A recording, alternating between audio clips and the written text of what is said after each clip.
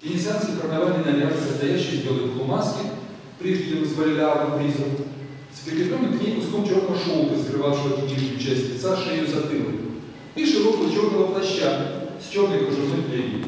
На голову надевались, надевалась черная треугольная шляпа.